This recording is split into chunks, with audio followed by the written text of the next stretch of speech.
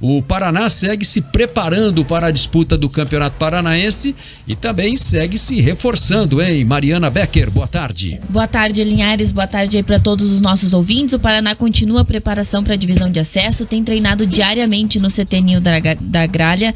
Falta menos de um mês aí para a estreia na competição e o tricolor continua anunciando e apresentando os jogadores aos poucos, né? Gradativamente. Agora, quem falou para a TV oficial do clube foi o lateral direito Guilherme Radesh. Ele tem 23 anos e estava no Bandeirante, onde disputou a Série A3 do Campeonato Paulista. Vamos ouvir aí o jogador.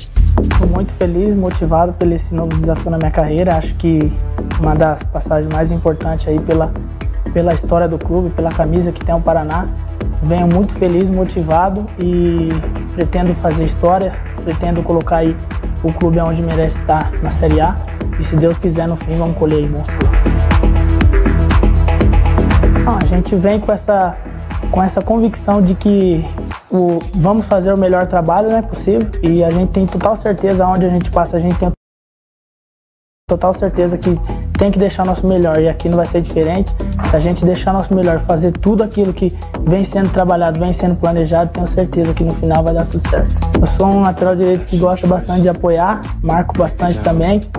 É, esse do meio termo para frente, do meio de campo ali, gosto bastante de estar tá apoiando, de estar tá atacando. Vai ver um jogador muito, muito, com muita raça que não vai deixar de desejar nenhum minuto de jogo e vocês vão ver que não viemos aqui só para ser sim fazer história.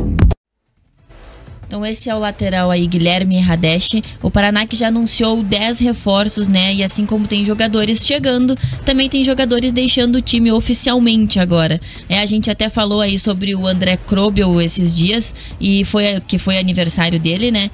Ele tem contrato com o Paraná até o dia 10 de maio. Ele se machucou ano passado, na metade do ano passado, então ele teve aí um problema no joelho, passou por cirurgia e ele vinha se recuperando aqui em Curitiba, no Paraná, né? O contrato dele vai até dia 10 de maio, mas ele não fica para a divisão de acesso, ele já está aí no fim da, da, da recuperação e segunda-feira ele já está indo embora e está negociando com o clube paulista. Informações então do Paraná, chega aí Guilherme Radesh, Radesh o lateral direito, que vem para reforçar o time, né? A posição que o Paraná estava precisando, né, Felipe Dalk? Enfim, vai ganhando corpo aí o elenco tricolor. É, já, já tem quase que um 11 titular ali, né? É, ainda tem bastante coisa para fazer, ainda tem muita coisa para. pouco tempo, né? É, pouco tempo. Tem um mês aí, basicamente, até a estreia do, da Série B. E o principal para mim é você conseguir montar um elenco até aqui de pelo menos 20 atletas, é, ver o que você tem em mãos, treinar é, e daí sim você pedir mais reforços, porque o campeonato é curto e você não pode errar, né? A margem de erro é muito, muito pequena. Então não adianta nada você contratar 25 agora e depois não ter dinheiro para contratar um, dois ou três que você precise para uma posição que possa ficar carente, porque é praticamente impossível você acertar em todas as contratações.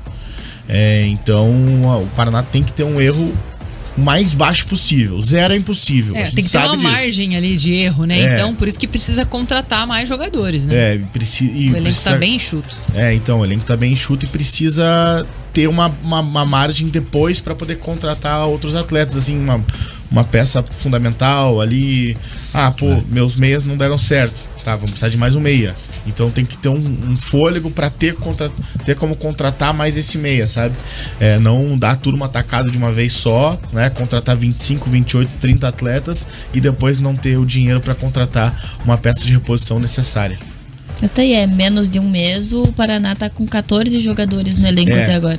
Você não, você não consegue nem fazer um, por exemplo, um treino coletivo, né? É. Você pode posicionar 11, claro, daí sobra três atletas. Você é... tem, se tiver um jogo aí, você tem é, 11 titulares e, e três, três no banco, é, né? Três no banco de reservas. Não dá nem para fazer as cinco substituições. Não, dá, não tem como. Então, ainda é difícil, né? O Paraná sofre com a questão do dinheiro, o Paraná sofre é, com a questão de ter uma fama ruim nos últimos anos, de mal pagador.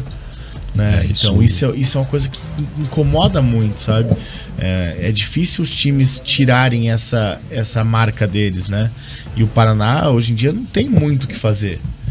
Que infelizmente não tem dinheiro para realmente ser um bom é. pagador. Né? Então, tá com o nome no CEPROC. É, exatamente.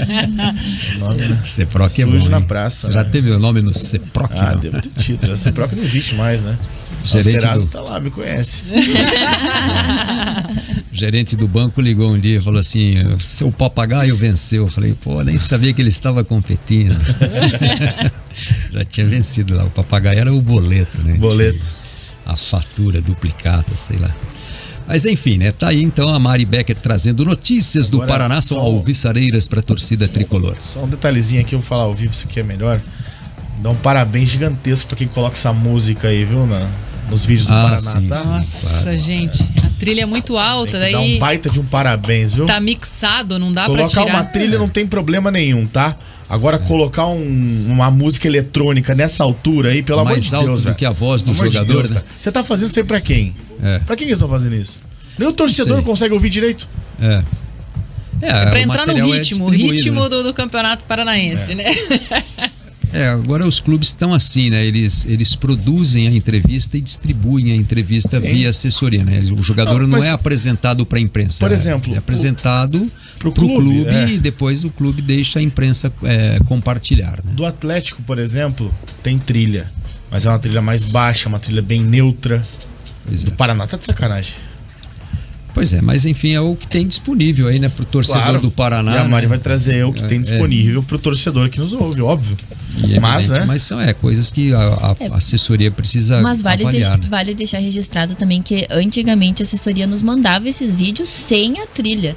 Exatamente. Quando existia uma assessoria. É. É, tem um, negócio que chama mixar, né? Você tem o- a, a opção de mixar ou não, né?